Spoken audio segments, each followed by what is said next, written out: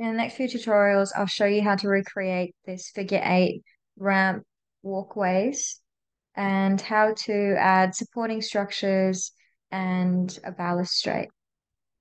So to start off, I'll go into my top view and I've already created a figure eight that um, I'll be using in this tutorial, but just to show you quickly how you would get this type of shape, you just grab the line tool in the splines and you'll just start sketching out roughly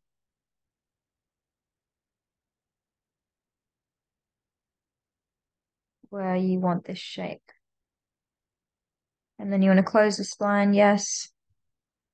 And how I get it to be smooth and um, a bit more symmetrical, I'll just go and edit the points.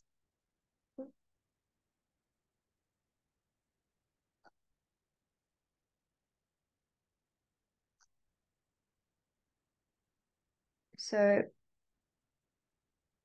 click on the vertexes and I'll just drag to where I want it to be. This can take some time, so I won't um, go into exactly how I get this shape, but then I'll go and move these vertices in place. So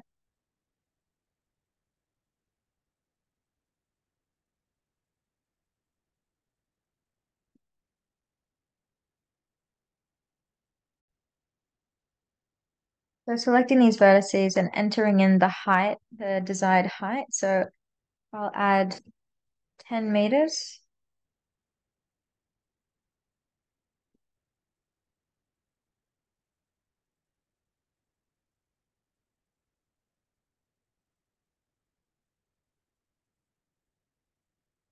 Five meters.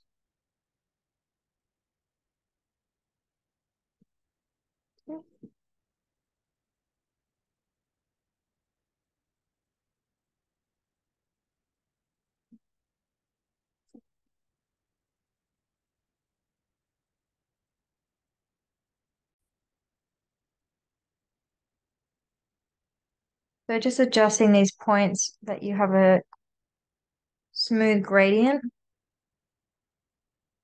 So once you have the desired shape, I'll go and add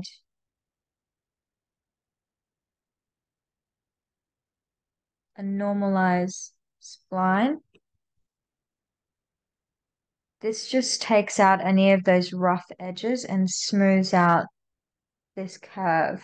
So that was just a quick uh, example of how you get this um, this shape, but it can be quite tedious. So I'll just use this existing shape that I created earlier. So what we want to do next is use the sweep tool to create the width and depth of the ramp. So what you want to do is go into top view, grab a rectangle and drag it out.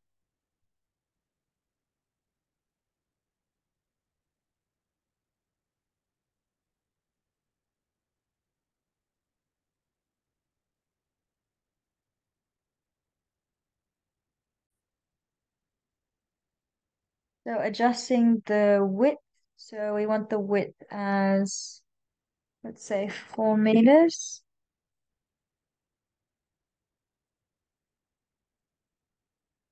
And length as 0 0.5.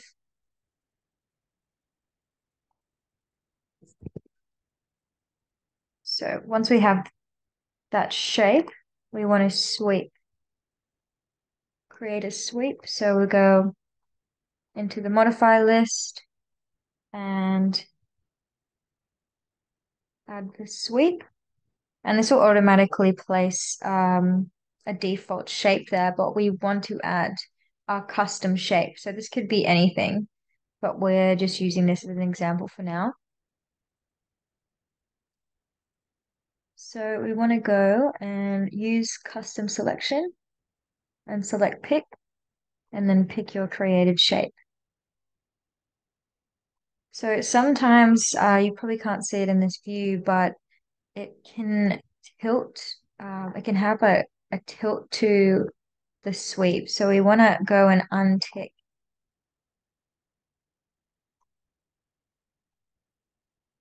Um, we want to go and untick in the parameters. Uh, smooth. No.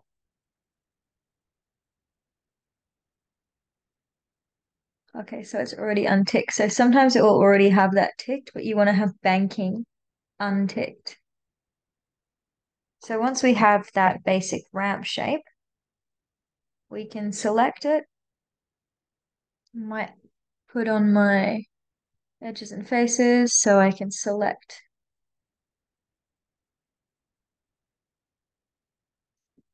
go to edit poly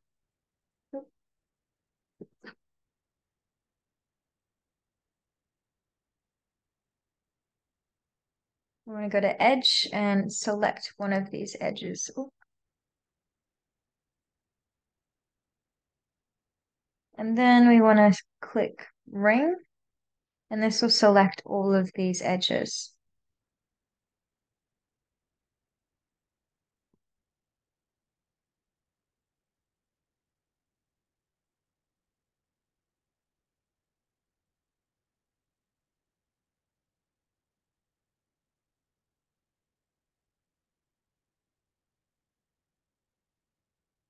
We then want to connect all of these edges. So we press connect.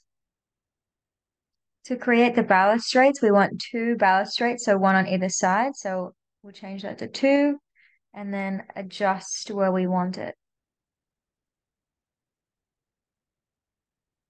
Yep. So the next thing we want to do is go and extrude our balustrades. So doing that, we, we click on the polygon and then you just go and select all of the exterior polygons. And by clicking shift and just dragging your mouse, it will go and automatically select that.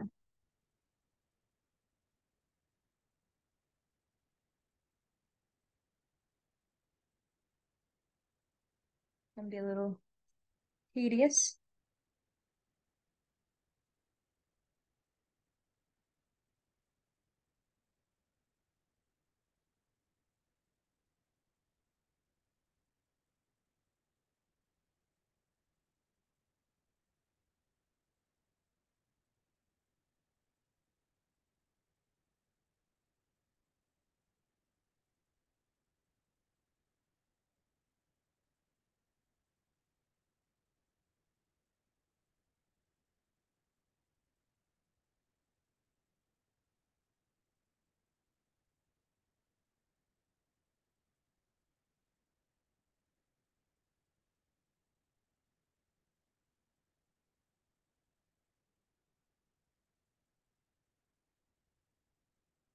So once we have all of them selected, we want to right click and select extrude and extrude that by 0 0.9. So we have one balustrade. Then we just repeat that on the other side.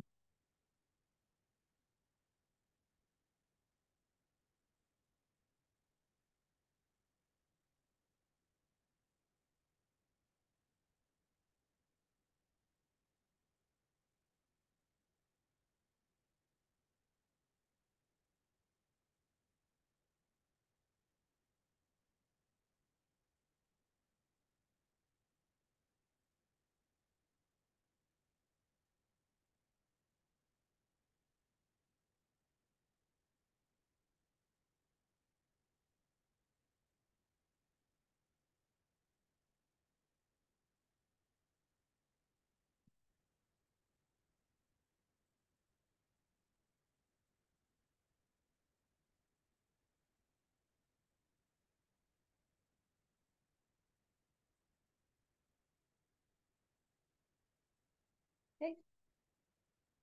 Then we have um, balustrades created. And in the next video, I'll show you how to create the support structure.